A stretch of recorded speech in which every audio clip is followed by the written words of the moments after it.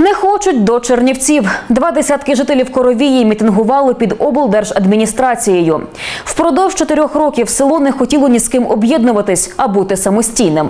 Коли у 2020-му завершення децентралізації стало невідворотним, Коровія ухвалила вже запізніле рішення увійти до Волокської ОТГ. Відповідно до затвердженого перспективного плану, Коровія увійде до Чернівецької ОТГ. Чому ви не врахували думку людей, що вони були проти Чернівців? У вас є, до прикладу, звернення від голови сільської ради, від мешканців села Коровії, що просимо місто Чернівці приєднати село Коровія приєднати до міста Чернівців, так як у вас було від Чорнівки.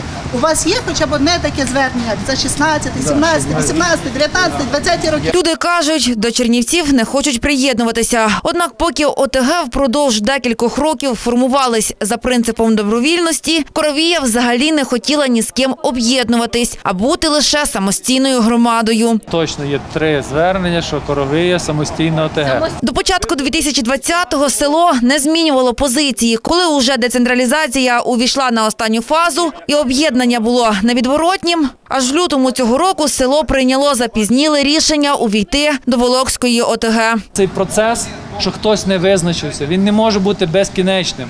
Є процеси, які незамітні, але вони приносять надзвичайно великі ризики на підставі того, що є процес децентралізації. Коровія до останнього вважала, що вона самостійна. І оскільки не було е, здійснено всіх необхідних кроків, щоб утворити або доєднатися до ОТГ, Коровія залишилася білою плямою. І з 19 грудня необхідно було приймати рішення про максимальному е, такому формуванні такого перспективного плану, який максимально е, відповідав методиці і максимально саме основне е, призводив до того, щоб покращувалися умови проживання людей.